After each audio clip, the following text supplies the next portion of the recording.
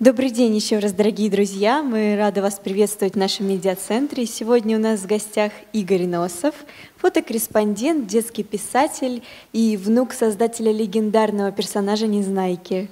Давайте поприветствуем автора. Ну, я сейчас и себя сам еще поприветствую, чтобы нас было больше. Так что все в порядке. Спасибо. Наша встреча пройдет в формате небольшого диалога, после которого вы также сможете задать свои вопросы автору, приобрести книги. Книги вы можете брать уже сейчас, можете листать, смотреть. И в конце автор подпишет всем желающим книги. Так, давайте начинать. Тогда я начну давайте, с первого давайте, вопроса. Конечно.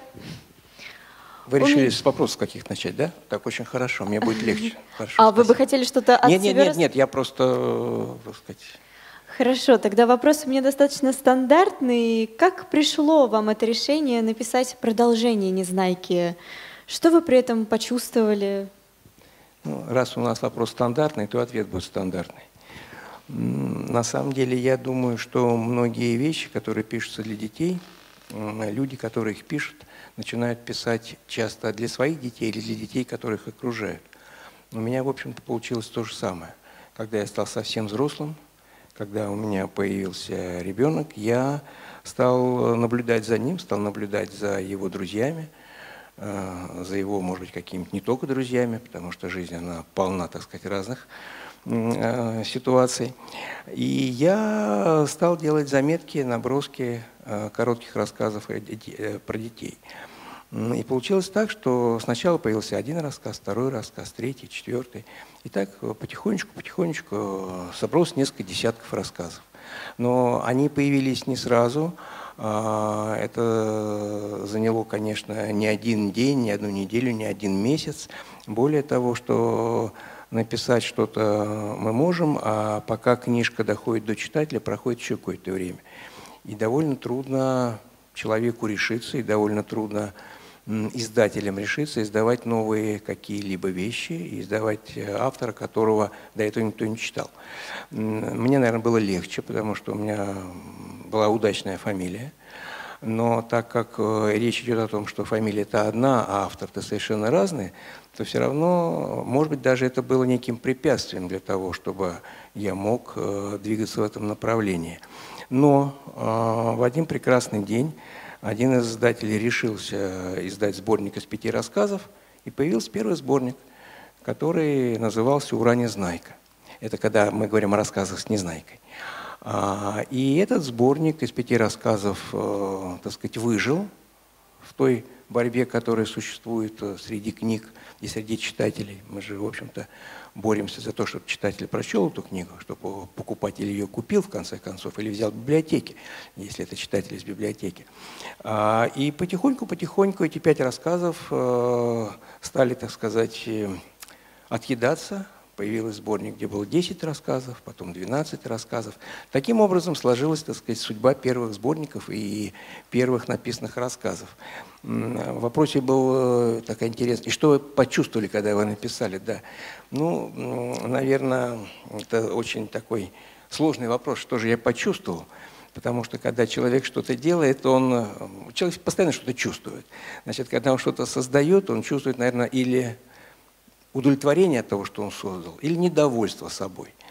А, мне показалось, что когда я создал э, первые рассказы, когда я их выправил, когда я их превратил а, в истории, которые были, на мой взгляд, достойны, чтобы их кто-то читал, я почувствовал удовлетворение от того, что я сделал.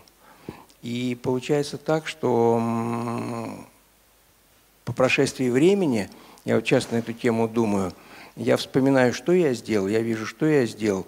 И хоть этого немного, но я всегда говорю, что то, что я сделал, меня не раздражает, меня радует то, что я сделал. И я чувствую все-таки э, удовлетворение от того, что я решился это сделать, и от того, что эти вещи, которые я написал, они увидели свет, и читатели у них все-таки есть. Хоть их, конечно, гораздо меньше – если мы будем сравнивать, например, а, мои книги и книги моего деда, то это несопоставимое, так сказать, количество читателей, это несопоставимое количество языков, на которые переводятся эти книги, а, и тиражи книг, естественно. Ну, во-первых, это другой совершенно исторический этап, это огромный, это прожитая жизнь, Я пока ее только, так сказать, собираюсь закончить, проживать. У меня еще есть перед некоторое время. Ну, посмотрим, что из этого дальше получится. Спасибо большое. Вот вы говорите несопоставимые, но если все-таки сравнить вашего незнайку и незнайку вашего дедушки, какие существенные отличия, может быть, есть между этими да, персонажами? Я, да, я понял. Но когда я говорил о несопоставимости, я говорил о несопоставимости популярности, несопоставимости тиражей и количества читателей, естественно. А если мы будем сравнивать, сопоставлять «Незнайку» моего, потому что мы сейчас, допустим, говорим о, о моих произведениях, где есть «Незнайка», да, и «Незнайка» Николая Николаевича, то, конечно, здесь э, можно искать интересные аналогии или, наоборот, э, находить э, разницу, которая есть.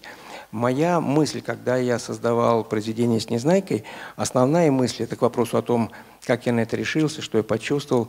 Мысль была такая, что я никак не могу и не должен э, исказить тот мир, который был создан Николаем Николаевичем. Потому что если ты хочешь создать что-то э, совершенно другое, то должен создавать что-то совершенно другое. Ну, например, меня, я так немножко буду уходить э, в рассуждениях от прямых вопросов и от прямых ответов. Ну, например, ты приходишь в театр, смотришь пьесу. Ну, ты знаешь, что это Шекспир. Но на афише ты видишь, что это не Шекспир – Шекспир стоит там где-то глубоко-глубоко внизу или помельче. Я не буду называть, например, имена, которые выходят впереди Шекспира, но если взять афиши театров некоторых, можно это найти. А ты смотришь постановку Шекспира в новом, так сказать, исполнении и думаешь, ну, если человек чувствовал, что он не может сделать лучше Шекспира – если человек чувствует, что ведь Шекспир – это же не просто драматург, это в данном случае человек, писавший пьесу, и ты же переделываешь пьесу уже Шекспира, ты по-своему ее переделываешь, ты делаешь новую инсценировку, режиссер еще ее по-своему опять-таки искажает, как он ее видит, да, как сейчас принято говорить, и ты получаешь совсем другой продукт. Так вот, э, я боялся того, что с Незнайкой не, не должно такого происходить, что он не может быть совершенно другим, он не должен быть искаженным. Тогда это должен, должны быть вот другие рассказы о других героях. Поэтому моя цель, которую я перед собой поставил, и, в общем-то, я, наверное, сумел ее достичь, мой Незнайка, если вот маленький читатель будет читать, или даже взрослый, если он решится почитать маленькому или сам, когда он читает, почитает, например, э, произведения Николая Николаевича, почитает мои, он почувствует, что это разница, что это разница в стиле, это разница в совершенно в другом, конечно, видении мира. Понятно, что все меняется. Но а, Незнайка остается таким же, а мир Незнайки остается примерно таким же. Я специально, умышленно не вводил туда какие-то такие технические достижения, которые стали для нас обыденными. То, что вводил Николай Николаевич свои произведения, великолепные какие-то искорки будущего, это одно. А то, что сейчас все произведения, которые, ну, большинство, которые мы читаем, наполнены нашим же миром и заполнены совершенно компьютерами, телефонами, какими-то приборами, цифрами. А, на мой взгляд, это небольшое достижение для литературы, а, потому что литература – это гораздо более сложная, более тонкая вещь, чем просто описание, например, каких-то приборов, как они работают. И то, что мы видим сейчас в кино, в театре, читаем в книгах, мне это не нравится, я скажу честно. Я вижу в этом, конечно, некий декаданс искусства. Это некое все-таки разрушение – на мой взгляд. Хотя все считают, что это достижение. Ну, те, кто разрушал искусство лет 100 назад, там 150, были такие периоды очень резкие, они тоже думали, что они делают великолепные вещи, они эти вещи сейчас наполняют музеи, они эти вещи э, наполняют фильмотеки. Но я думаю, что большинство здоровых людей с трудом, например, может стоять э, на выставке или в музее и разглядывать вещь, которая была разрушительной, которая была модной, которая стоит огромных денег, но я, например, э, как ну, обычный человек, часто не понимаю, что же здесь гениального. А, поэтому в искусстве, мне кажется, не всегда нужно стремиться а, к разрушению, к революционности. Поэтому и мои произведения, связанные с Незнайкой, они не революционны. Это моя установка в данном случае. Это некая эволюция Незнайки, но очень-очень э, мягкая эволюция. Это эволюция скорее стиля, это эволюция скорее определенного, конечно, собственного видения того, что окружает Незнайку, как он действует, но это все тот же Незнайка. Это вот, видите, так сказать, ответ это просто все тот же Незнайка. Незнайка остался прежним. Незнайка остался прежним, но человек ведь интересен, наверное, тогда, когда он меняется. Если мы говорим персонаж Незнайка, и возьмем человека. Если человек очень быстро меняется – как сейчас принято говорить, там, перебываются в воздухе, да, или еще что-то. Просто он меняет свои взгляды. У него сегодня одна религия, завтра другая. Религия, может быть, в кавычках. Я беру религию в кавычках в данном случае. То есть это не всегда симпатично, не всегда приятно. Человек, наверное, должен быть самим собой, он должен расти, он должен изменяться, он должен улучшаться, он должен умнеть. Желательно, чтобы он добрел, хотя жизнь не всегда заставляет тебя добреть. Вот, добреть какое-то нехорошее слово, ну, в общем, добреть, да. А, и я думаю, что поэтому изменения не всегда э, в искусстве особенно хороши. Вот такие соображения на эту тему. Спасибо большое. Давайте тогда перейдем к вашему творчеству. Как вы считаете, можно ли назвать вашу писательскую деятельность семейным делом? Ну, разумеется, э, деваться некуда. Даже если я не хотел назвать это семейным делом, это, естественно, семейное дело. А вот иногда, когда на эти темы мне приходится рассуждать, я вспоминаю свою работу совместно, например, с отцом, так как я много лет э, работал фотокорреспондентом, а мой отец э, изначально был фотокорреспондентом. Он меня учил фотографии, учил журналистике, и я избрал эту профессию совершенно, так сказать, сознательно, умышленно, потому что мне хотелось этим заниматься, а не потому что, э, так сказать, мне это навязали или кто-то меня убедил, что вот нужно заниматься тем-то, это удобно, выгодно. Так вот, вся моя деятельность профессиональная, она оказалась семейная. То есть я занимался тем, что, чем занимался мой отец, потому что он меня учил. А позже так получилось, я стал заниматься и делом, которым занимался дед, который тоже меня, конечно, учил. Учил меньше, чем отец, потому что вместе с дедом я не работал. А, деда я помню, так сказать, вот, э, когда мне было 14 лет, деда не стало. Соответственно, я его помню относительно молодым человеком, очень даже скорее ребенком. Но так как детские впечатления и воспоминания, конечно, не самые сильные, наверное, и они глубже проникают и остаются в глубине, то, наверное, влияние Николая Николаевича на меня все равно было сильное, несмотря на то, что мы с ним не занимались чисто профессиональным трудом, как я занимался этим со своим отцом.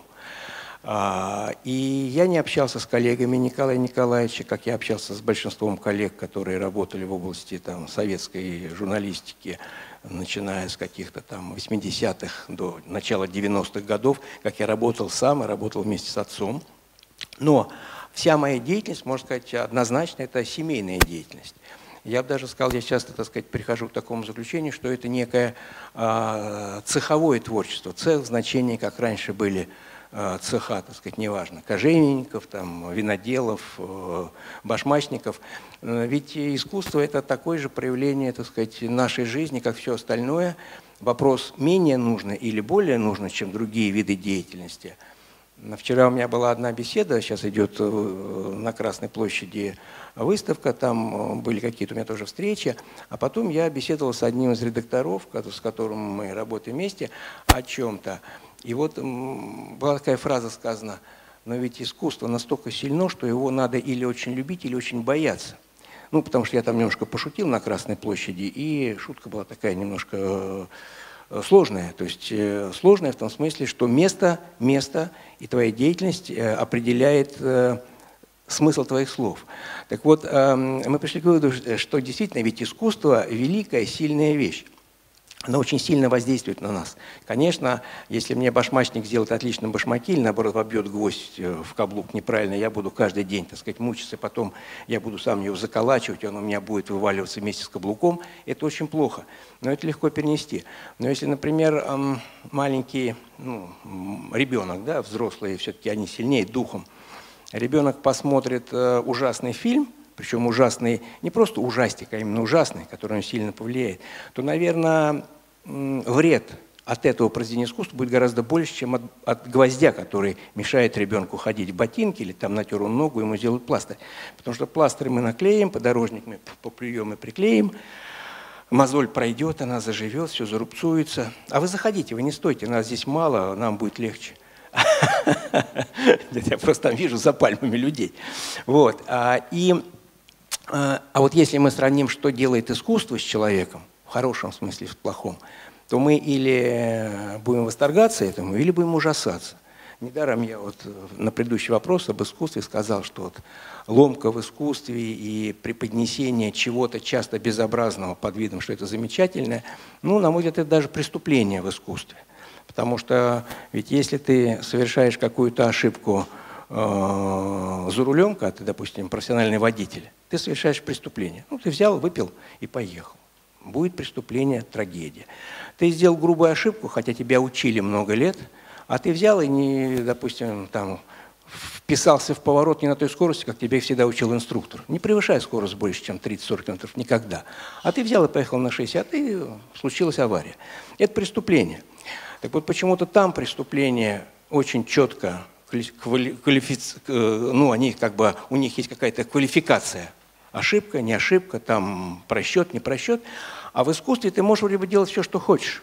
Ну, мы не берем политические аспекты, когда искусство сталкивается с социальной системой.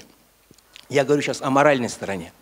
И не берем, когда искусство сталкивается с религией, потому что это тоже, так сказать, эм, тем более, если раньше учесть, что религия как раз всегда была в государственной системе, то это столкновение с государством. Вот уберем этот сложный вопрос в сторону, оставим вопрос морали. Если ты творишь в искусстве, ты создаешь вещи, которые, ну, на мой взгляд, аморальны, то ты делаешь преступление. Поэтому э, искусство очень-очень серьезная вещь. И цеховое обучение в искусстве очень важная вещь. Я далеко ушел, я возвращаюсь. Когда я буду забывать, вы не подсказывайте, откуда я ушел, потому что мысль у меня такая бежит, она впереди меня. Цеховое воспитание, мне кажется, в искусстве очень важно. Потому что если цех хороший, цех хороший, то у тебя будет как хорошее вино, как хорошие башмаки, так и будет хорошее искусство. А когда это несколько, так скажем, революционное искусство, революционное воспитание, не цеховое, ты очень быстро уходишь от традиции, от классики. Тебе как бы легко отказаться. Ты их не впитываешь, у тебя их просто нет. Ты как бы, ну если тебя учат пользоваться ножом и вилкой с детства, то ты, приходя даже в столовую, где нет ножа и вилки, или в гости, ты спросишь так аккуратно хозяйку, а нет ли там ножа? И если нож есть, тебе его обязательно найдут. И делают вид, что даже если едят без ножа, они дадут тебе нож, ты ешь как хочешь, а вы ешьте как хотите.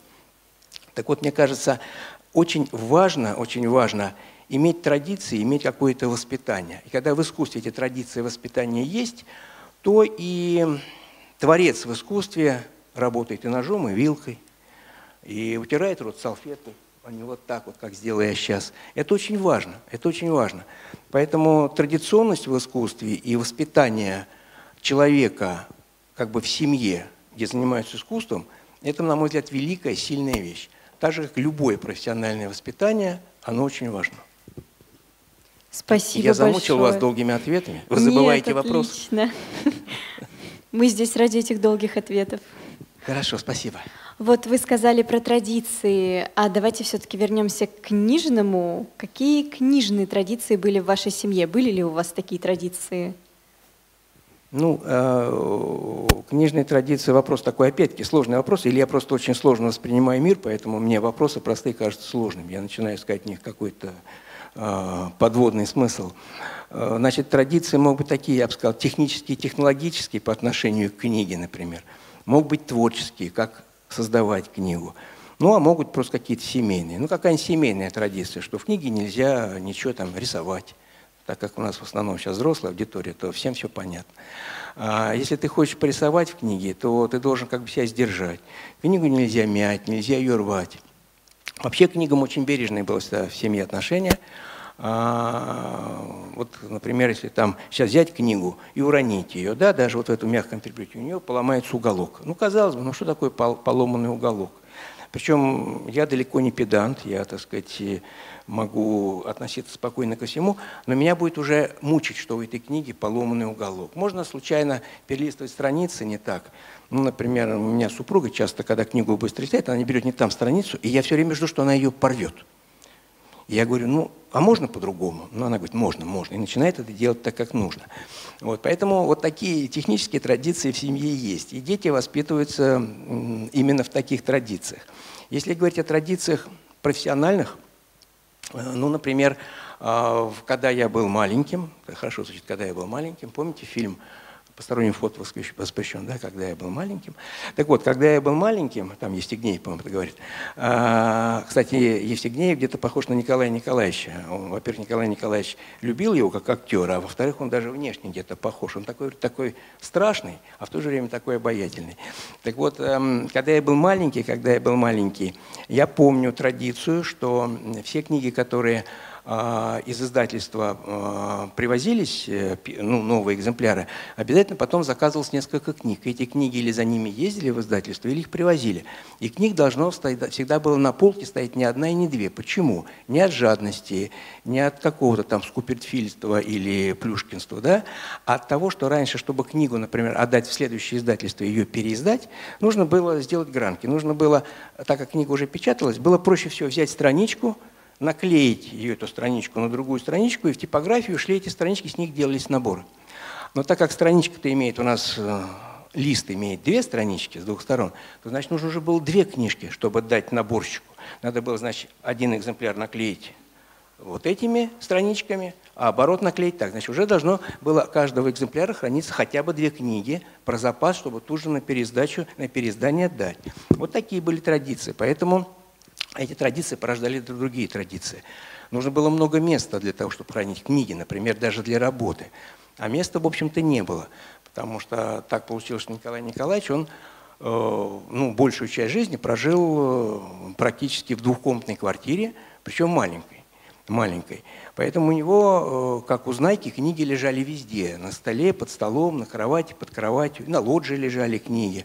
Их, значит, там кутали, прятали, чтобы туда не заливало потому что тогда не было привычек остеклять лоджии. Значит, лоджия была, так сказать, как она должна быть, открытая лоджия. Вот. А вот это были традиции иметь много книг, их сохранять, в них не рисовать. Ну, я бы так ответил на вопрос о традиции. А то я что-нибудь еще придумаю. Давайте еще вопрос какой-нибудь. А давайте представим такую ситуацию. Вы говорите о бережном отношении к книгам. Вот к вам пришли гости. Если вдруг кто-то из ваших гостей, друзей без спроса бы взял книгу, как бы вы отреагировали? Это вот хороший вопрос, он нетрадиционный. А то обычно вопрос, который даже знаешь, какие ответы надо уже даже не придумывать. Вы знаете, это приятно, когда к тебе приходят гости и начинают брать книги. Неважно, твои, семейные или чужие. Потому что я вчера после, э, так сказать, проведенных многих что-то на Красной площади, я пошел в кафе. Я сидел, ел в кафе с э, теми людьми, которые э, работали со мной, а рядом, вчера же пятница, а рядом сидели другие компании людей. И вот я, люди у нас э, часто разговаривают громко, они не думают о том, что другим не так интересно, что они говорят, поэтому хочешь ты, не хочешь, ты слышишь, что они говорят. А так как в кафе и ресторанах люди иногда еще и выпивают, будем считать, что я ничего не сказал такого дурного при маленьких, вот, то они становятся еще громче и разговорчивее. И когда я слышу, о чем говорят люди, мне становится как-то скучно и грустно. Поэтому, когда к тебе приходят гости, и они не спрашивают, а слушай, у тебя какая водка? О, нет, эту я не пью. Или так не смотрят на стол, что там на столе, да? Потому что, в общем, мы гостеприимные, мы любим сами поесть и других людям покормить. А когда вдруг гости у тебя начинают говорить о книгах, и начинают просить какую-то книгу с полки или начинают что-то листать, это большое достижение. Но, правда, у нас и гости в основном такие. Они как-то все больше по книгам, а не по бутылкам. Хотя они любят выпить многие. Конечно, я сам могу выпить. Это я, это я шучу, конечно. В общем, я хочу сказать, что, наверное, это хорошо, когда гости берут книгу.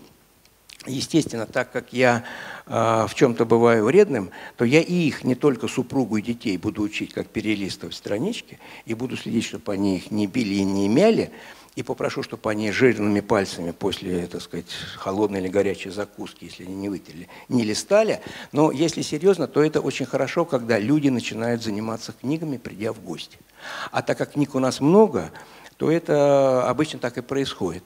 Более того, я скажу, что так как моя профессия фотокорреспондента подразумевала, что э, есть в, в книгах не только много текста, но есть и изображения, фотографии, в общем-то, серьезное искусство.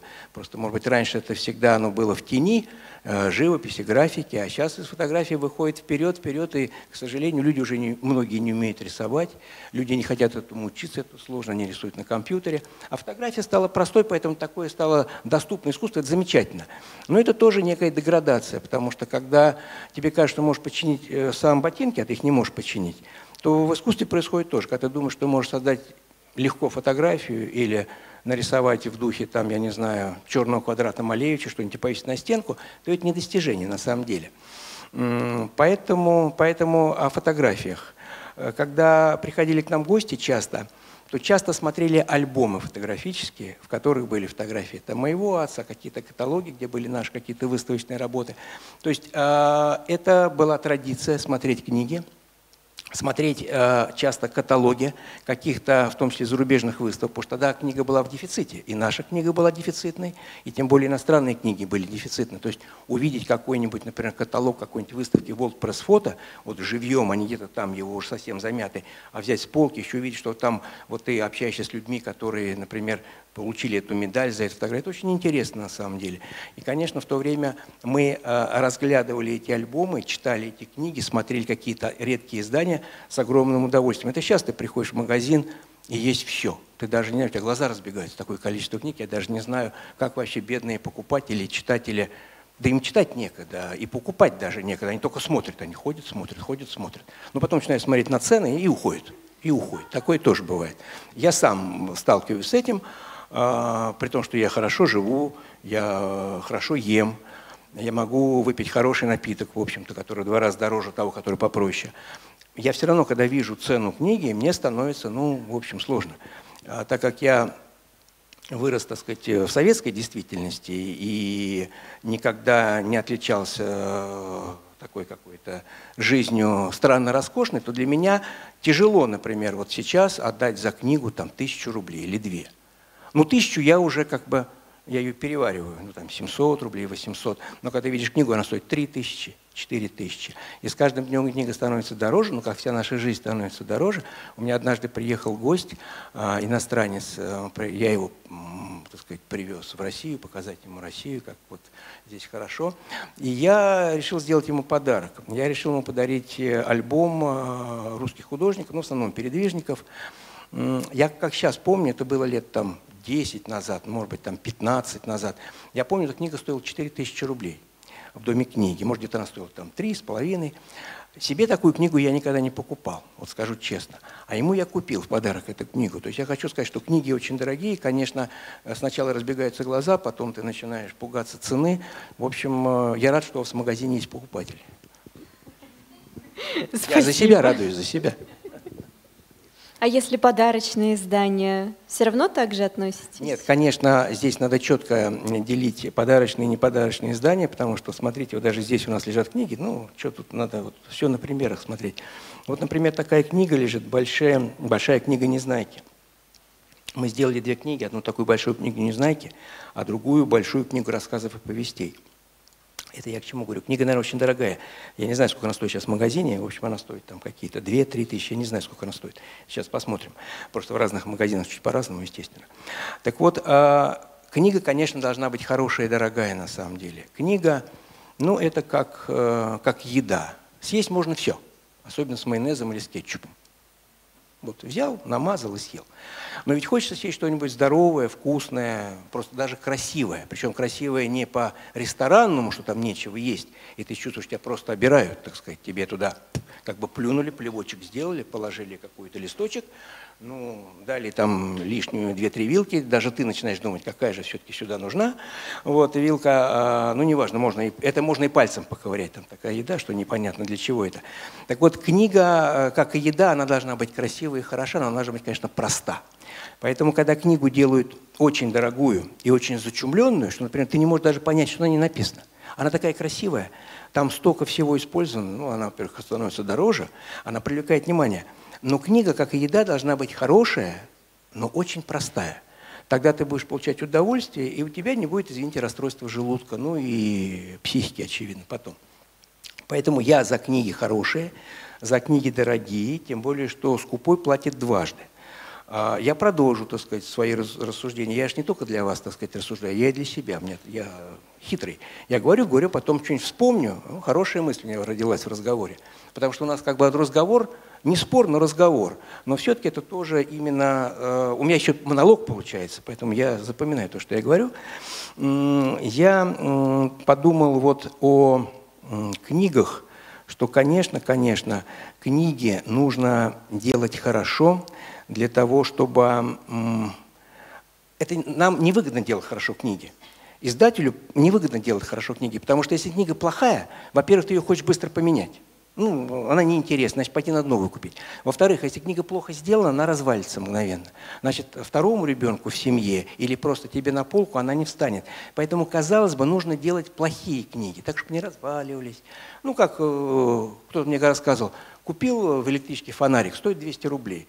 Но когда из электрички вышел, попробовал, уже не работает. Вот примерно так и с книгой. Это выгодно, чтобы брать 2-4 книги, 10.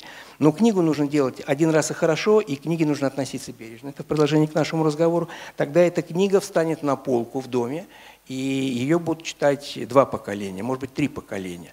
Дело не в том, что это будет экономия – Дело в том, что это будет традиция, та самая книжная традиция. Потому что вот у меня же есть книги, которые читал мой дед. У меня есть книги, которые мой дед покупал в букинистических магазинах. Они старые книги, не обязательно старинные. Это очень важно.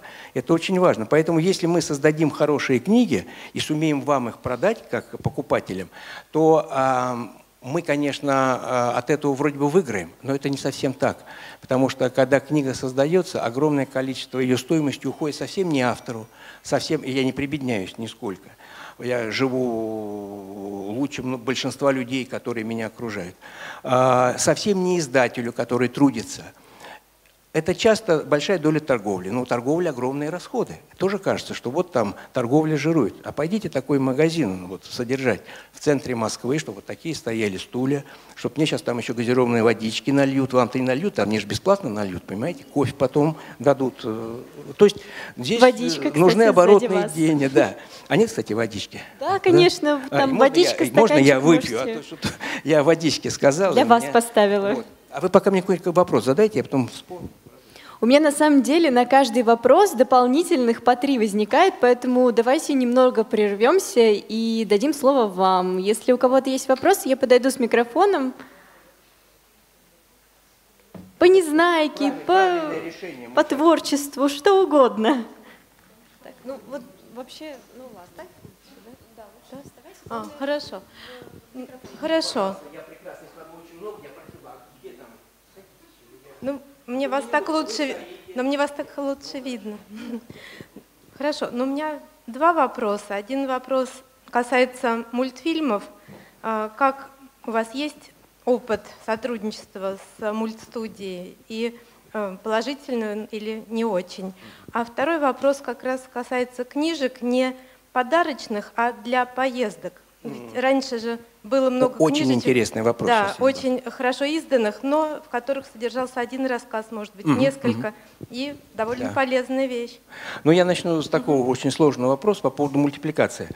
Э, я вообще стараюсь очень откровенно разговаривать с людьми. Меня часто упрекают, что я слишком откровенный.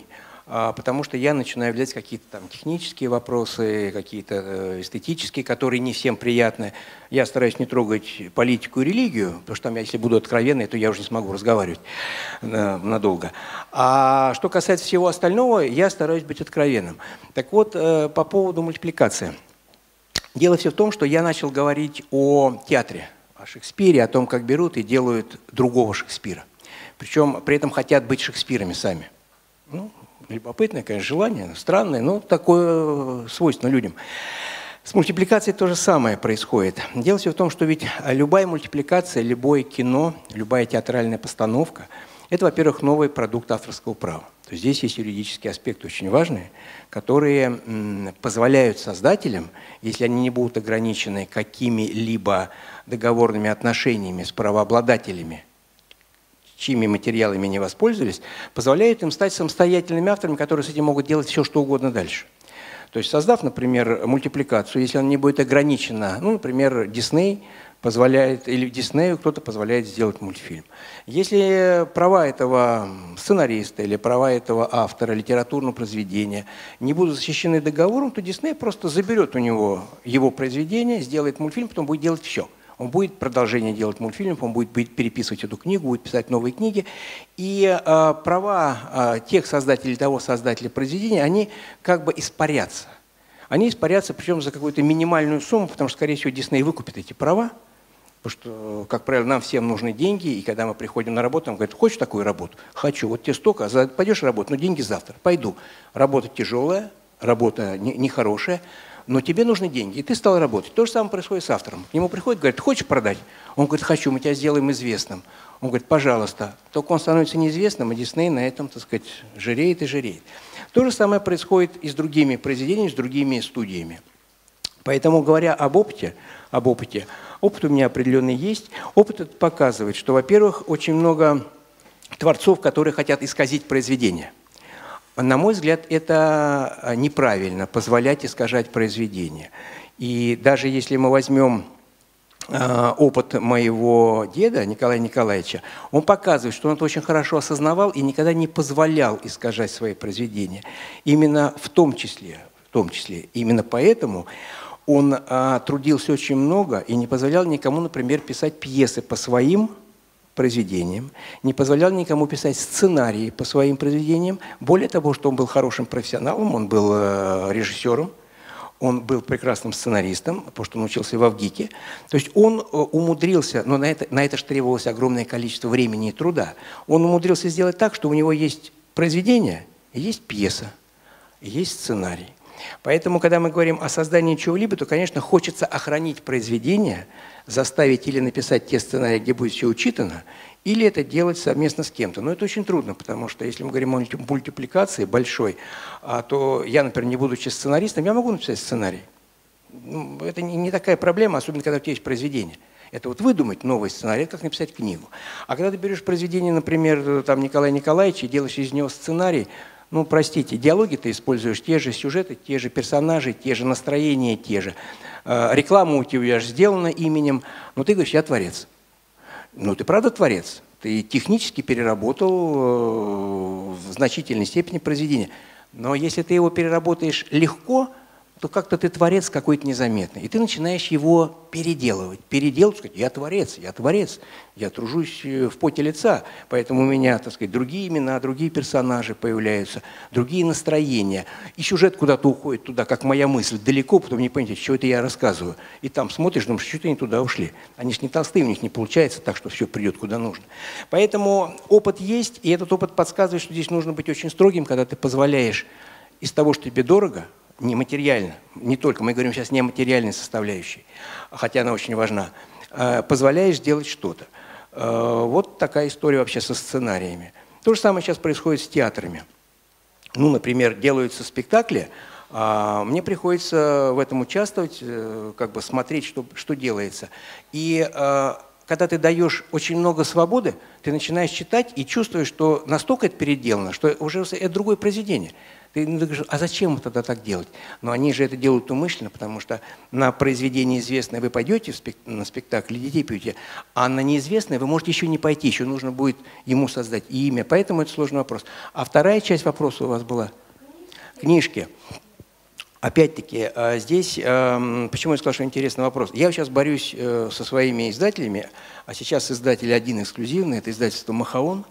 А, я борюсь э, с руководством, борюсь э, с редакторским, так сказать, высшим составом, с комиссарами а, от искусства. Борюсь за то, что нужно делать книги а, маленького формата.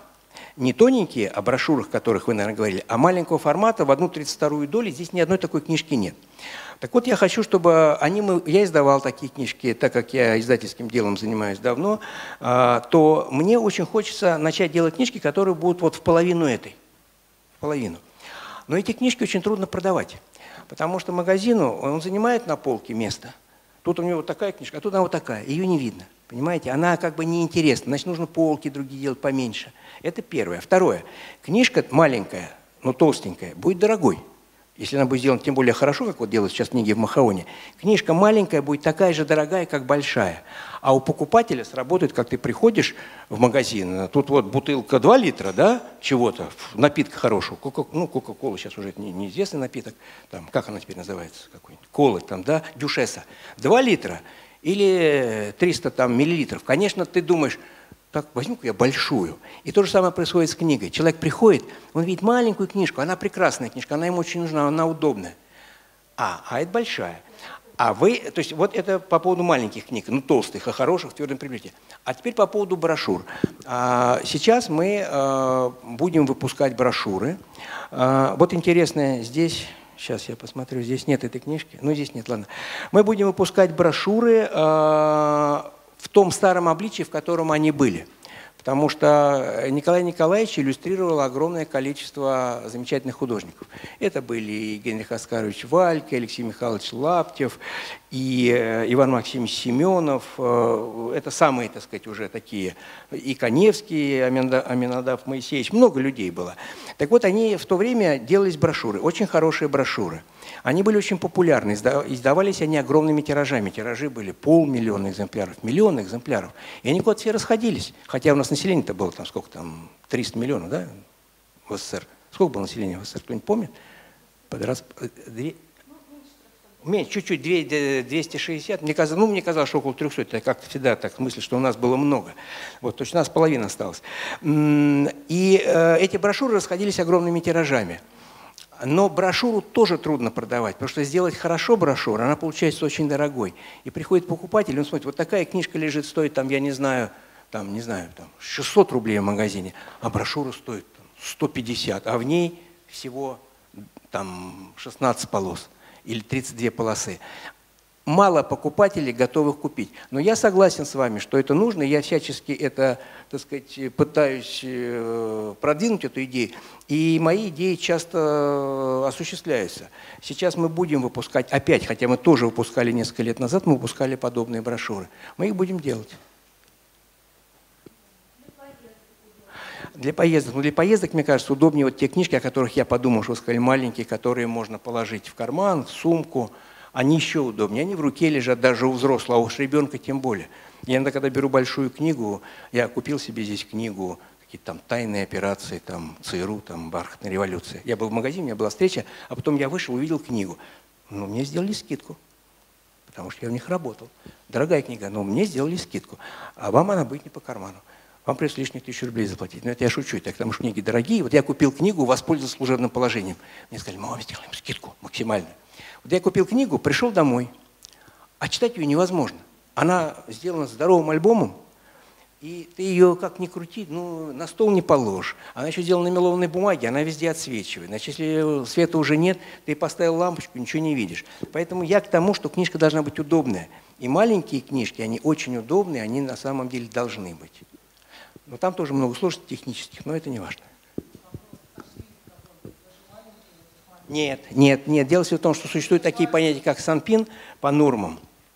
И издательства, которые серьезные, издательство Махаун серьезное издательство, а, были издательства, которые там мухлевали, называли, что это книжка там, для чтения взрослыми, детям. Но на самом деле, если книжка делается для детей и читает ее ребенок, то там есть определенные нормы. И вот в маленьких книжках, как бы ты ни хотел, длина строки будет определенная, и кегль будет определенный. То есть книга будет как раз, э, она будет очень удобна для чтения в любом случае. А потом для стареньких людей, как я, я не могу уже согласиться, что книжки делали с маленьким шрифтом. Я ничего не вижу. Так что это важно. Пожалуйста, а то да, я вас заставил ждать. А, спасибо большое. Так вообще интересно. Такой замечательный разговор и беседа. А, у меня вопрос. Мы э, несколько лет назад хотели сделать домашнюю вечеринку в стиле «Незнайка в солнечном городе». Да.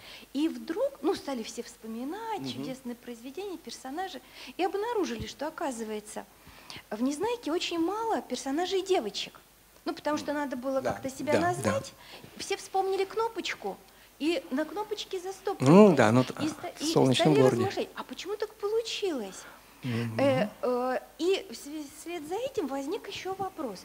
Может быть, э, прообразом Незнайки был э, какой-то мальчик-родственник, и конечно, все было сфокусировано конечно, конечно. на любви Цеховое к же малышу. Искусство. И так получилось, что девчонок вокруг таких прелестных не оказалось, и поэтому там где-то кнопочка, еще несколько девочек, а в основном мальчики. Вот хотелось бы узнать, расскажите, Ответ пожалуйста. очень простой. Все, во-первых, исторически обусловлено, и обусловлено традициями э, семьи. Но э, традиции традиционные, не беспокойтесь, все в порядке. Значит, девочки есть в рассказах. У Николая Николаевича первые рассказы, если вы вспомните, про Незнайку мы сейчас не говорим, первые рассказы, ну, например, «Затейники». 1938 год, первая публикация в журнале «Мурзилка». Герои рассказа Петя и Валя.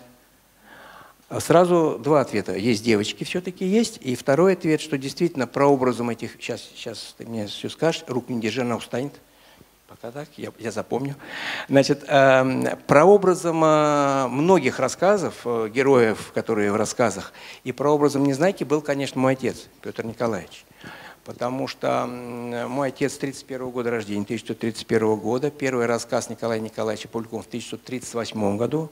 Моему отцу было 7 лет. Э, Незнайка появляется в 1953 году реально, в 1954 выходит в виде книги. Значит, посмотрите, моему отцу уже много, но Незнайка-то тоже вырос из рассказов и из подготовки, которую Николай Николаевич черпал из э, своих впечатлений. То есть э, прообразами многих рассказов являются именно члены даже семьи. В этом тоже цеховое, так сказать, у нас воспитание. А мы как Чарли Чаплин. Э, сами пишем сценарий, сами играем, сами пишем музыку, э, сами продюсируем, сами договариваемся с банками. У нас все так.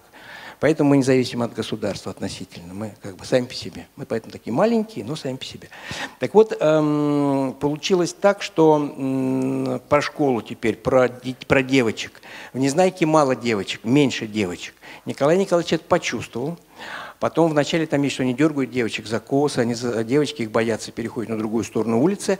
Но их, а их как бы мало, все время коротышки, мальчишки, да? А, но потом Николай Николаевич их отправляет в город, где только одни девочки. То есть он понял, он знал, что такие вопросы, как ваш, сразу последуют от читательниц. А где девочки? А где девочки? Вот вам девочки в следующей главе.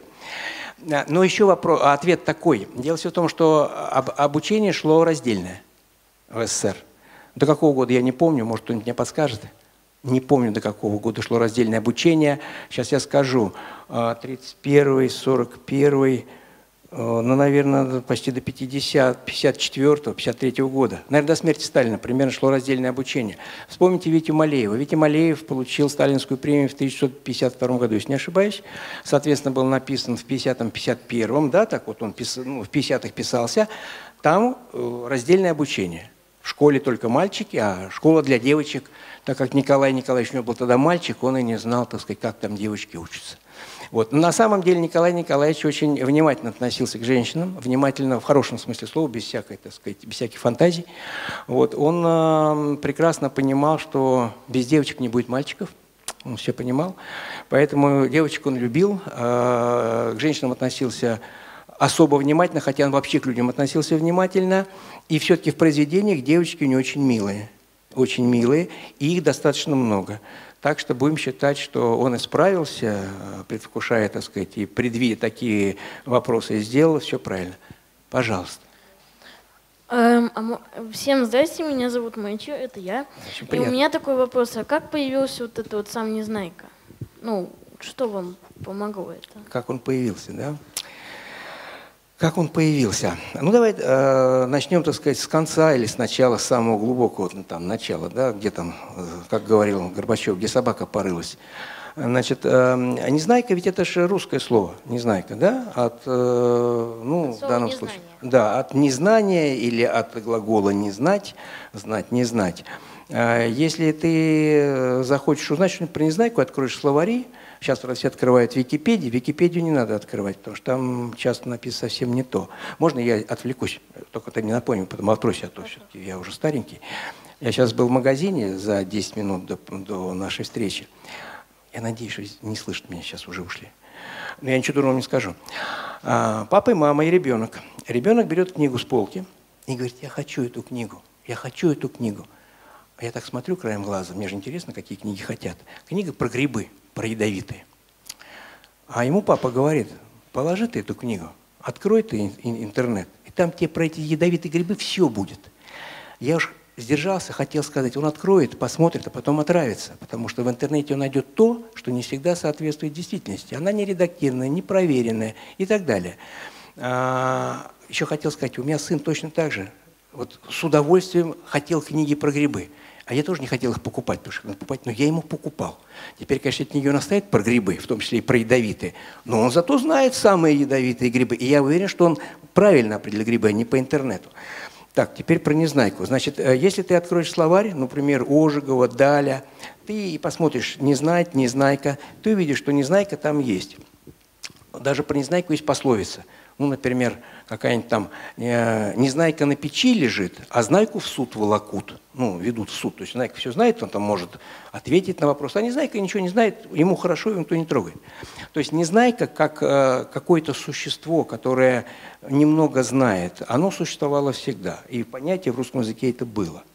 Николай Николаевич был человеком очень начитанным. Он читал огромное количество книг.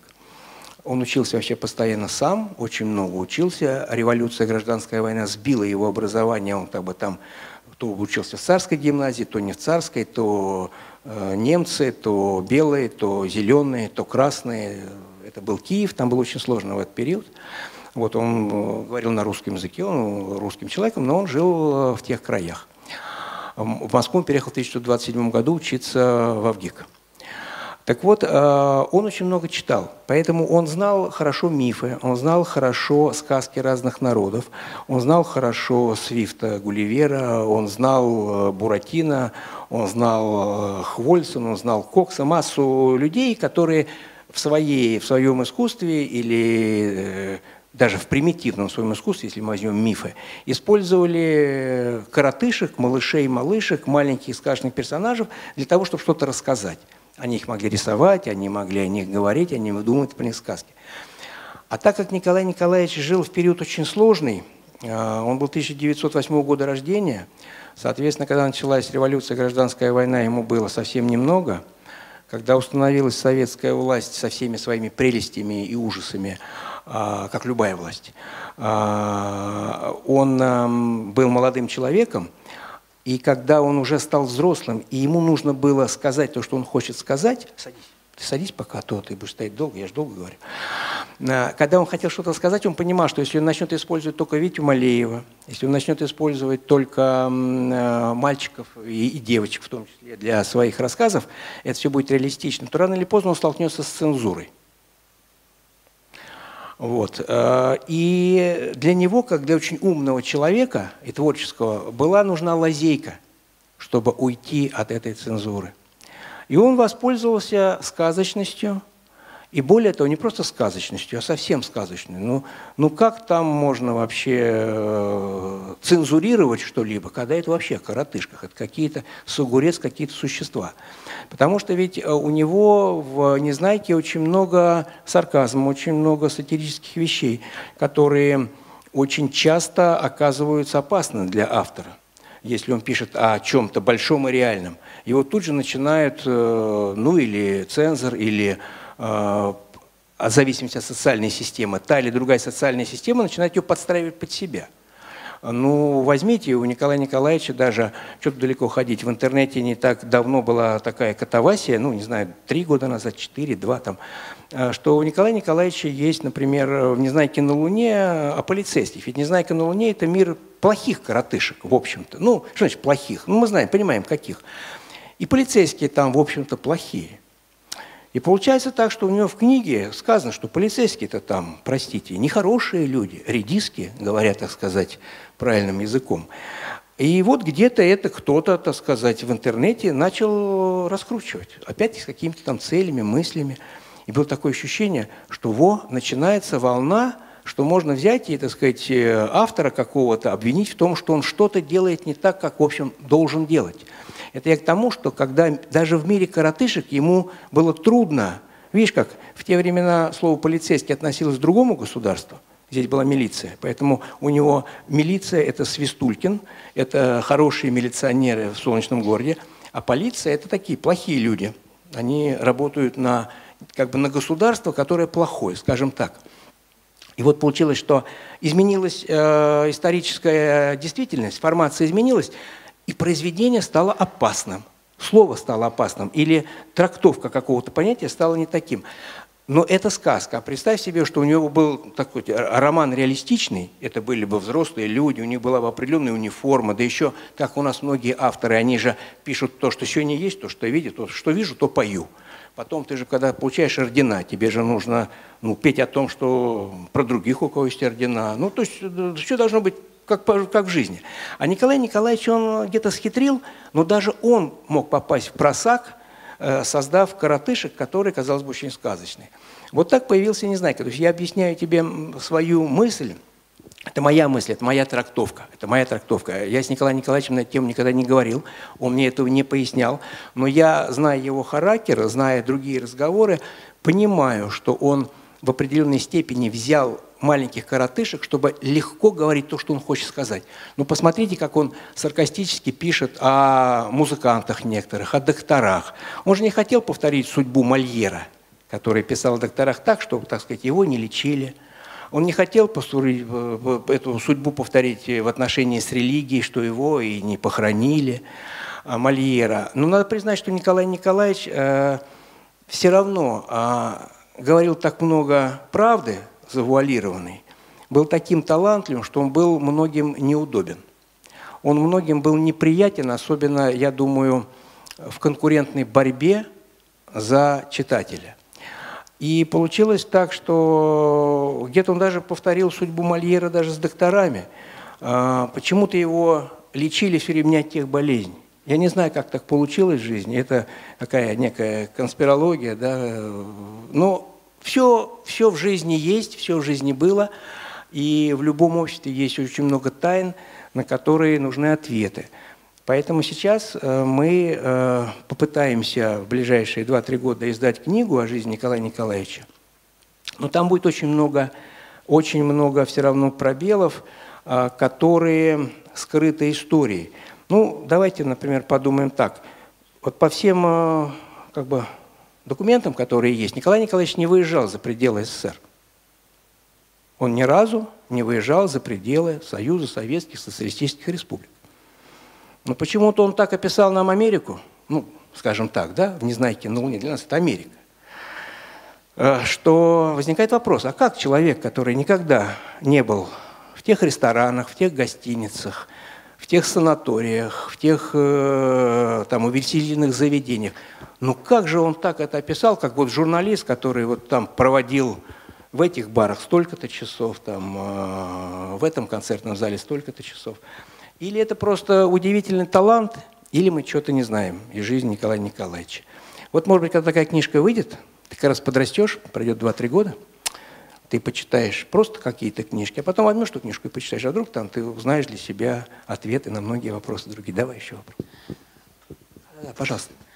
Um, я хочу добавить э, то, что этот человек, э, ну, Н. Носов, он написал, получается, об Америке, правильно? ну это я сказал в кавычках, мы видим в этом другой мир, в котором мы не жили. Это был мир, скажем так, за железным занавесом. Тогда было такое понятие, железный занавес, страна СССР была отделена от других стран, ну, в относительно. Ну, говори, да, так, ну, то есть, об Америке, получается, допустим. если он не знал, то он, наверное, из книжки тоже, наверное, прочитал. Вот, э, все абсолютно верно. Из книжки Умный же? человек из книжки. Тогда не было интернета. Видишь, интернета не было. Ну, это я знаю. Да, не, ну вот просто я тебе говорю, что значит он очень много читал. И, конечно, он из книжек мог подчеркнуть огромное, так сказать, количество информации и сведений. Ты понимаешь, когда ты пишешь, ведь даже часто писатель, который пишет, ну, например, даже детектив, а, он едет в то место, например, как следователь, где что-то произошло. Ну и, допустим, даже какие-то военные э, истории. В общем-то, человеку даже, э, который там не оказывался, ему поехать бы, хотя бы посмотреть на местность. Хотя бы представить, что там делается зимой, что весной. Потому что он пишет роман, у него получается, что у него там, например, песок, а на самом деле в этом месте грязь. И уже, если это военный роман, уже совершенно другая история военная получается. То есть я хочу сказать, что писатель часто даже едет и смотрит, как художник выходит на пленэр или на натуру, делает зарисовки, а потом уже у себя в мастерской создает картину. Так вот, Николай Николаевич, такое подозрение, что он где-то был на пленэре, он это видел. Но ты совершенно, наверное, правильно сказал, ты не дал мне уйти в эту такую таинственность, это хороший подход, потому что таинственностью можно все объяснить и ни на что не ответить, ни на какие вопросы. Наверное, он просто был, во-первых, очень талантливым человеком, по-настоящему талантливым, нельзя быть очень талантливым, просто талантливым человеком. А во-вторых, он был очень трудолюбивым человеком, и он всю жизнь стремился познать то, чего не знал. Он действительно очень много читал. Читал он не просто, как вот мы с вами читаем книги. Он читал книги обязательно. Мне не разрешалось и моему отцу книгах писать и рисовать, а вот ему разрешалось. Все книги, которые читал Николай Николаевич, они все исписаны им. неважно какие это книги, это какие-то э, слабенькие произведения для детей, его там неудавшихся коллег или его сильных коллег или удавшиеся книги. Это все подчеркивание, это все вопросительные знаки, восклицательные знаки, двойное подчеркивание, э, так сказать, издевка или восхищение автором. А если брать серьезных авторов, э, классиков, то они тоже все им изучены. Это и Диккенс, это и Толстой. И все исписано, все исписано, исписано. И форзацы книг записанные цитатами, страница, номер. То есть э, у него, конечно, голова работала очень э, много, постоянно. И он очень многое подчеркнул из книг, потому что он их читал очень внимательно. Ответил я на вопрос. Я, конечно, ушел далеко опять, но все-таки я старался. Спасибо тебе, потому что ты внес такую живую струю. Видишь, у меня э, конспирология пошла в разговоре. Очень интересно. Но э, э, я не знаю мальчика. Э, это, это не тот случай, как в цирке, нет. Я не знаю ребенка и семью. Спасибо, спасибо. Игорь, у меня вопрос. Да. А, как вы рассматриваете ту ситуацию, когда вернуть подписки детям, как раньше, ну вот сейчас это есть Мурзилка, но а. это не та Мурзилка, журнал Мурзилка, да. когда мы все ждали в почтовый ящик, нам выписывали юный натуралист, да. Мурзилку, это было доступно родителям, независимо от доходов семьи, да? да. И мы бежали, получали этот свежий номер с запахом типографской краски, ну, с картинками, и мы читали.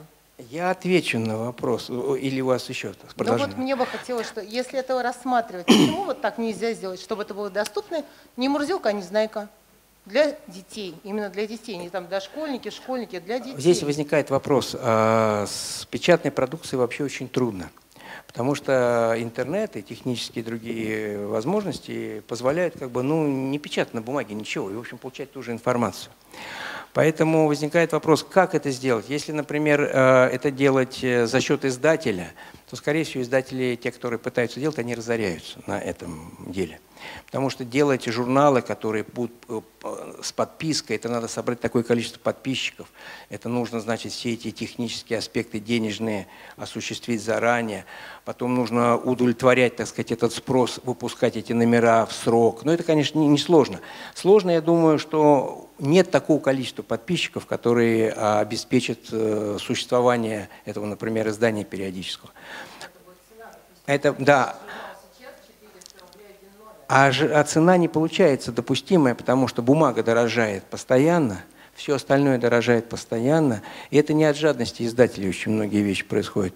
Это происходит от того, что ну, а, технологически и финансово мы не успеваем за жизнью, скажем так. Мы не успеваем э, сделать что-то, что должно быть а, так, как было там лет 50-100 назад. Конечно, замечательно, подписка.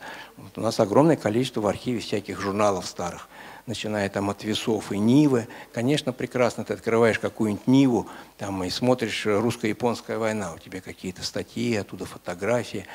А, это не интернет. Я, я даже к фотографии отношусь по-другому. У меня даже к фотографии есть какое-то отношение старомодное, когда нужно снимать на современную камеру, где есть цифровой носитель, где нет, ну, на мой взгляд, нет вот этого носителя как негатив – на который я привык снимать, неважно, негатив был раньше э, на стекле, э, или потом он стал на целлулоиде горючем, потом на других пленках. Для меня эта фотография, она какая-то неживая. Поэтому для меня и интернет, и э, компьютерное изображение не живы. Мне нужна книжка. Но это, наверное, в силу моей старомодности. Потому что я сужу по своим детям, я им всячески пытаюсь привить любовь к книге, они, э, насколько каждый по-своему берет эту любовь. А, и я вижу, что... Вот у меня сейчас дочь, например, э, я с ней увиделся на днях, она взрослая. Я говорю, ты что там на компьютере делаешь, сидишь, смотришь на экране? Я говорю, я читаю. Я говорю, что ты читаешь? «Войну и мир», там в очередной раз. Я говорю, что ты «Войну и мир» читаешь на экране? Тебя что, книжки нет? Она говорит, ну я не знаю, какой-то там один том есть, другого нет, а второе издание где-то не здесь, и я читаю так. И я подумал, вот «Войну и мир» читать на экране. Вот мне сейчас представить чтение «Войны и мира» на э, экране, на планшете или на компьютере, хотя мне приходится за компьютером много проводить времени, ну, относительно, для меня это не то чтение. Я, я, я вот совершенно с вами согласен, что нужны журналы живые. Оксана Григорьевна, заходите, может, вам какие-нибудь вопросы. Это главный редактор издательства «Махаон». Вот обещала прийти, пришла. Вот, значит, ответственный человек. А вы можете вот здесь посидеть, и вам вопрос какой-нибудь зададут? Нет? Ну, я вам задам какой-нибудь вопрос. Вот. А, нет, ну, радостно нас стало на одного больше. А, о чем я говорил? О том, что книжки должны быть, конечно, настоящие. Вот мы с Оксаной Григорьевной боремся за книги настоящие. Нам тяжело, но мы боремся. И книги издаются действительно хорошие. Вот, э, это я не себя хвалю, не ее хвалю, не издательство хвалю, не э, огромный холдинг, где, так сказать, торгует этими книгами и производит. Это я хвалю, так сказать, нас, как людей, которые могут быть старомодны, э, и которые держатся за что-то, на наш взгляд, э, классическое, и, наверное, правильно держатся. Вот, такие у меня мысли. Это я не к тому, что я заканчиваю беседу, я э, в вашем распоряжении. А то так у меня получилось, так знаете, вот. Тоже о, о, очень верная мысль, очень верная вещь. Ну, значит, э, Оксана Григорьевна, вопрос был такой, это уже ваш огород камень. Как бы сделать э, журнал? Журнал на бумаге, который будет работать. У меня есть зарегистрированный журнал жур, э, «Незнайка». Поговорите с руководством холдинга. Можно сделать журнал. Нет, надо брать быка за рога. Это, так сказать, это, это голос народа. Голос народа. Это, это не мой призыв, это голос народа. А? Что вы говорите? Да, но чтобы была подписка. А вот здесь вот Оксана говорит, нам ответит, с подпиской вообще возможно сейчас работать? Все-таки возможно. Это понятно. А насколько это экономически вообще... Э, а приходите сюда, идите сюда, пожалуйста, зайдите, а то во всем придется оборачиваться. Это нехорошо. Проходите. Это правда. Вы можете присесть, можно поставить два стула, можете прилечь, там, как удобно. Ну, творческое же. Можете сыграть нам, кстати. Так э, вот на самом деле, да. Э, просто мне помогут, потому что я сказал, я сказал, что с подпиской очень трудно, надо количество подписчиков найти, чтобы обеспечить экономический процесс. Э, найдем ли мы количество такое желающих? Ну, пробовать можно. Я не знаю, найдем мы количество желающих или нет, но сейчас, может быть, даже журналами несколько проще, потому что их можно распространять как по подписке, так и в розницу. Я не знаю, как это было раньше. Вот. Тут самая большая проблема, что их надо периодически выпускать, и надо их периодически чем-то наполнять. Потому что, потому, что книга, потому что книга уже написана, да. ее просто придумаешь, да. ну, надо придумать, в каком виде, в каком формате, там, в каком ценовом сегменте можно сделать. А журнал, хочешь не хочешь, там, а раз в месяц или раз в два месяца, как мы заявили, он должен выходить. То есть вы хотите сказать, что это скорее сторона творческая, Это трудная. скорее сторона творческая, да, то есть надо создавать редколлегию, и журнал... Ну, мы же... с вами станем редколлегией. Безусловно. Безусловно. Сейчас у нас же принято, например, захотели, сделали Академию телевидения. Поработал на телевидении, стал академиком. Захотели, сделали Академию фотографии. Поработал я фотограф, стал академиком. Ну и вас назначу, и вас, если вы хотите, например, и вас могу взять. А мы сделаем себе редколлегию сами. Да. А кто будет главный в редколлегии, вы или я? Редколлегия – это не самое главное. Самое главное – найти пишущих журналистов, которые нам будут давать материалы. Мы возьмем молодых да, э, да, людей, да, которые да. хотят писать ну, материалы. В принципе, так оно и делается. Которыми мы были когда-то и сами хотели писать самое материалы. Самое главное, что они должны быть близки. Вот, э, ну, тем, ну, более, тем более Оксана Григорьевна, в отличие от меня, журналист по образованию. Так что вот и будете искать близки молодых. Близки должны быть молодежи, детям, чтобы, чтобы, ну, чтобы было ну, хорошее да. наполнение. Потому что за журнал всегда голосуют читатели. Если, если читатели есть, то журнал живет.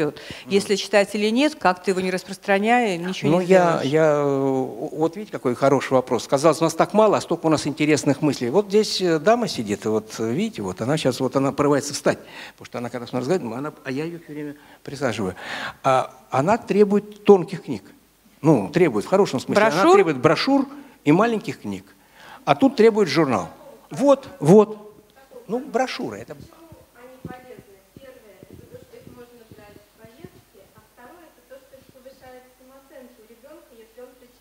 Да, до конца. Вот это вы говорите, как моя супруга. Вот она это говорит, что ребенка пугает большая книга. Она говорит, когда, ну, у нас есть опыт, так сказать, чтобы дети один читал, второй, там, третий.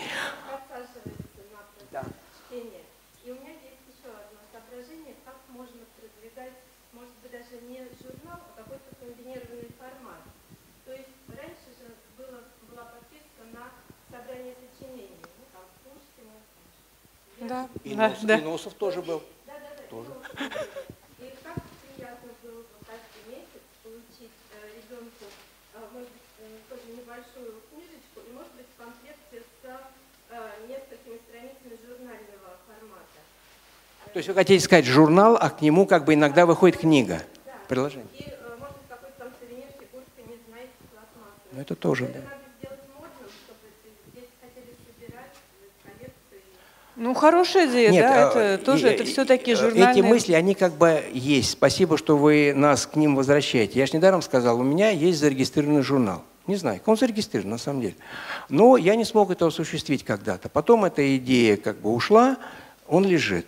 У нас есть э, возможность делать те же самые фигурки-незнайки, о которых вы говорите. И были мысли, что, конечно, э, вот дети не дадут мне соврать, они, наверное, знают, там есть журналы, где есть всякие насекомые, к ним прилагаются в, в пластике. Да? Вот это масса интересных вариантов, и здесь то же самое. Так что, э, видите, очень полезная беседа. Я же сказал, недаром мы сейчас поговорим, я выйду с нашей беседы и унесу новые мысли или обновленные мысли. Или сейчас пойду искать свою эту зарегистрированный журнал вот, к нашему разговору. А Оксане Григорьевне придется думать о брошюрах не так, как она говорит, вот мы знаете, вот мы через месяц, через два за них возьмемся.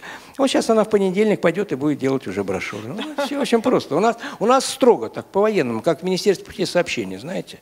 Все сели в ромбиках, там, я не знаю, в фуражках. Встал министр, сказал, и поезда ходят идеально. И вот у нас то же самое. Да. У них то же самое в издательстве. Пожалуйста.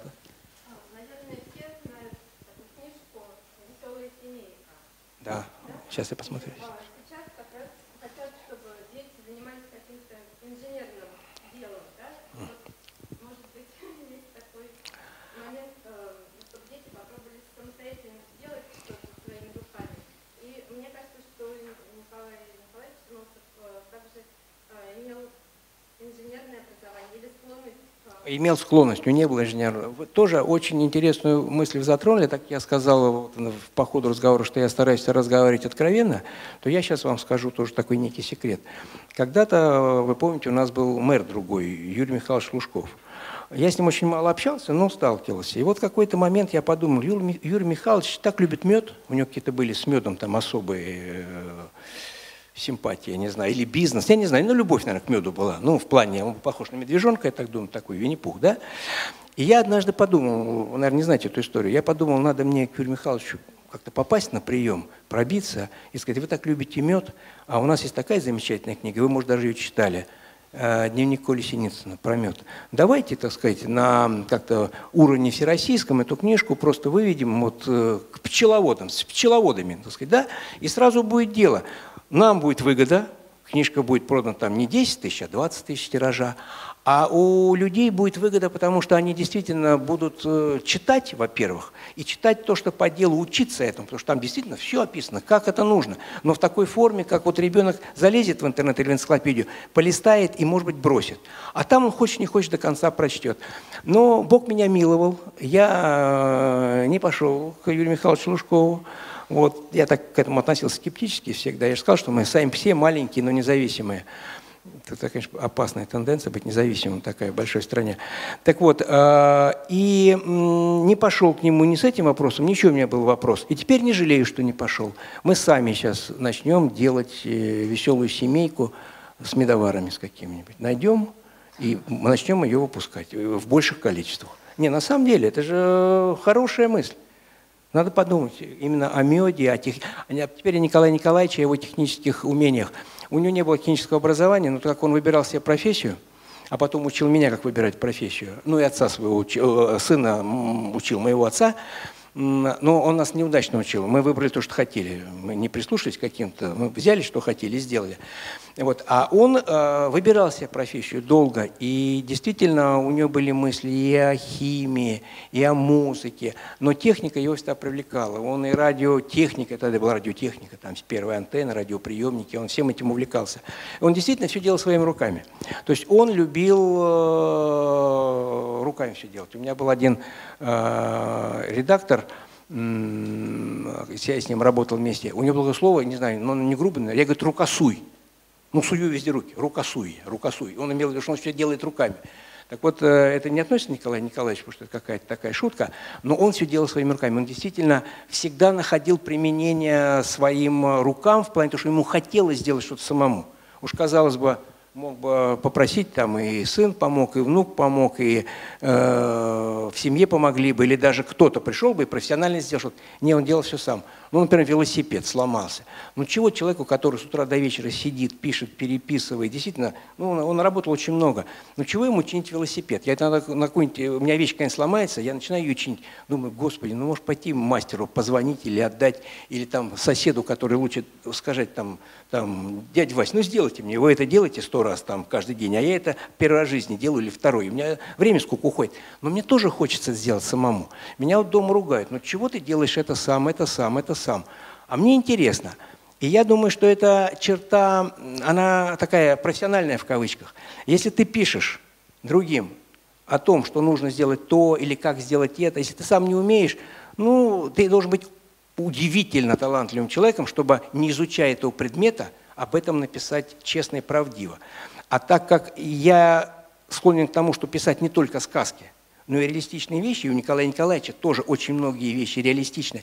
Когда ты пишешь вещь, которая э, проверяется, так сказать, другими мозгами, и там видишь, что там ошибочки, что это не соответствует умению, то твой труд теряет э, ценность. Поэтому надо многое, наверное, человеку, который пишет, особенно для детей, уметь делать что-то своими руками, многое уметь делать. Тогда ребенок чувствует, что это вот дядька, который, или тетка, которая пишет, ну, извините, такую грубость, что они умеют там шить, они умеют там стучать молотком, они умеют чинить велосипед. А то он пишет, как чинить велосипед, а видно, что он не знает, что у него педаль не в ту сторону прикручивается, ну, к примеру, да? А я, например, знаю, что они туда прикручиваются, и у меня, вот это я просто о рассказах, и у меня там, не знаю, как, где он у меня э, решил велосипед, так сказать, сделать, он не знал, что педаль-то, которую крутишь туда, должна быть прикручена в другую сторону. Она у него отворачивается поэтому. А я это знал. Потому что у меня там отваливались педали, я их в первое время не в ту сторону крутил, потом стал крутить куда надо. Ведь многие этого не знают. И вот этого многого мы не знаем.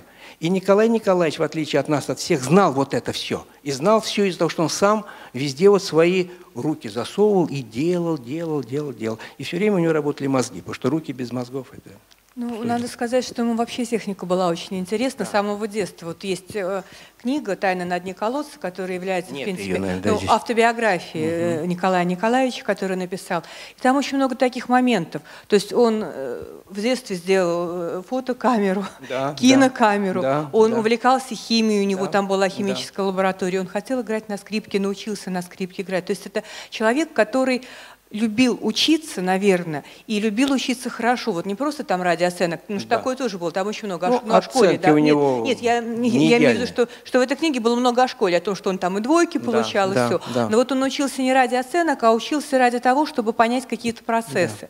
И есть еще тоже, но это уже, это уже после школы, когда Николай Николаевич работал на киностудии, он снял вот этот вот ну, знаменитый фильм, фильм. за который был награжден орденом для танкистов. Привезли Английский танк. Английский я не знаю, танк. как он назывался. Ну, я не, сейчас не вспомню, как ну, он назывался. Там английский Шерман, танк. Да. В, 40, в 43 году, по-моему, да. Ну, по ленд-лизу к нам приходил По ленд-лизу.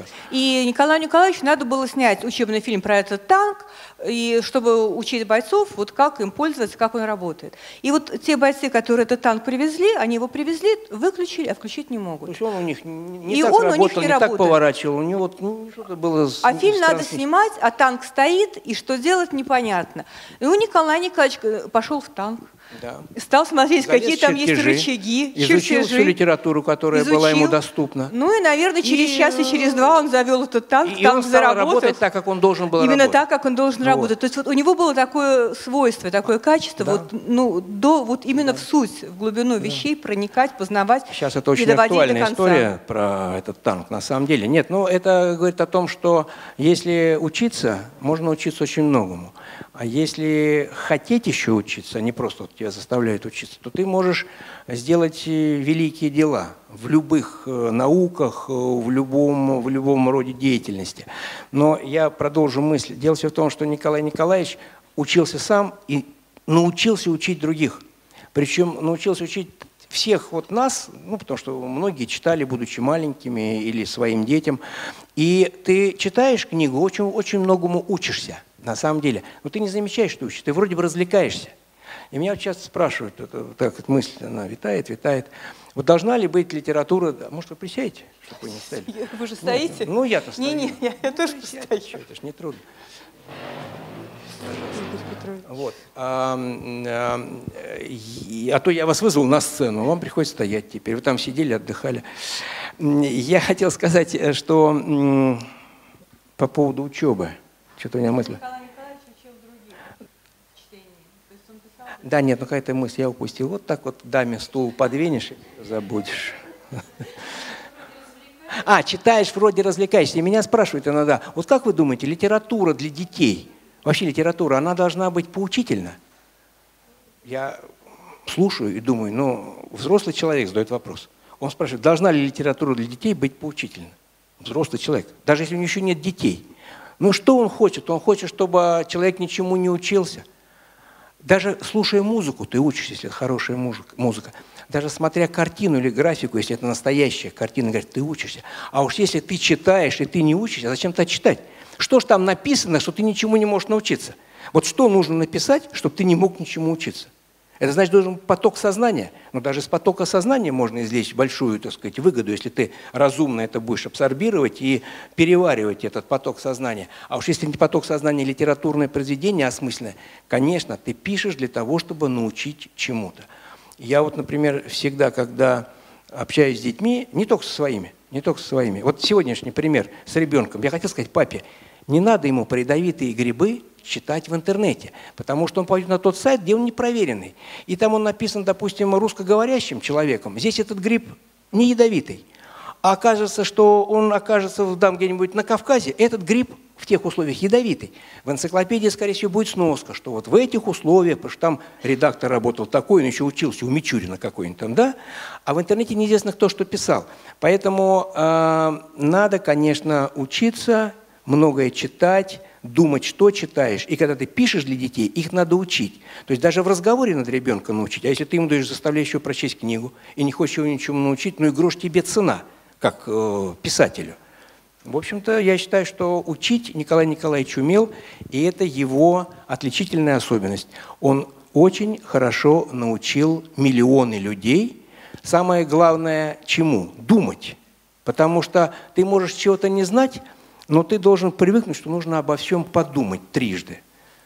Ну, сколько бы ты ни думал, хоть 10 раз, если ты не обучен и не читаешь, и не знаешь, ты будешь думать, думать и не будешь находить ответа. Но если ты многому научился, это я уже на маленьких смотрю в основном, но если ты многому научился и будешь читать дальше, и будешь это анализировать, ты, конечно, будешь совершать меньше ошибок. Или твой труд будет гораздо более продуктивным. Так что Николай Николаевич, он, конечно, очень полезный оказался человек не просто как литератор, а как учитель. Я тоже хочу еще немного добавить. Если мы увлеклись, вы скажите, мы с удовольствием, может, тоже уйдем.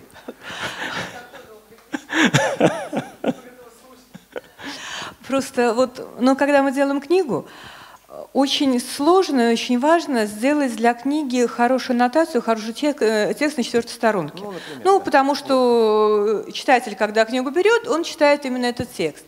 И мы на это тратим очень много времени. Ну, редактор, который книгу ведет, вот он придумывает, создает, ну, создает этот текст, мы его смотрим, мы его правим, там мы просим написать другой, и э, ну, процесс творческий очень длительный. Николаем Николаевичем это очень просто.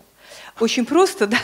Почему? Потому что в его книгах есть главное. Если даже не брать э, про учебу, про знания, которые, вот, ну, безусловно, есть в каждом произведении, самое главное, что есть в этих книгах, это человеческие отношения. Вот эти книги, во-первых, в них дети узнают себя в любом, вот, в любом поколении, в любом возрасте, в, лю, в любом году, в любое время. Узнают себя и учатся жить, дружить, взаимовыручки, взаимопомощи, то есть именно всем тем качествам, которые должны быть присущи человеку. Ну и заканчивается все вот именно такими текстами у нас, потому что это легкими, потому это, что есть это, о на чем мой сказать, взгляд, что да, в этой книге это, есть. Это, это самое главное, чему учит Николай Николаевич и чему в принципе должна учить детская литература. И вообще литература, конечно, ну, и вообще, а детская, наверное, в первую очередь, она да, же, конечно, да, должна учить, да. потому что ты растешь, значит, должен учиться. Значит, хотя говорят, век учись... Э, там, э, помрешь, дураком да, помрешь. Но это неправда. Так сказать. Все равно помирать лучше знаешь что-то. Хотя чем больше ты знаешь, тем, конечно, труднее жить бывает, но надо, значит, правильно к этому относиться. Надо жить с юмором, с которым жил Николай Николаевич, тогда все трудности будут казаться, ну, чуть-чуть полегче. Даже самые страшные. Спасибо большое, Спасибо, Игорь Петрович. спасибо, спасибо большое. Будем считать это заключительным наставлением.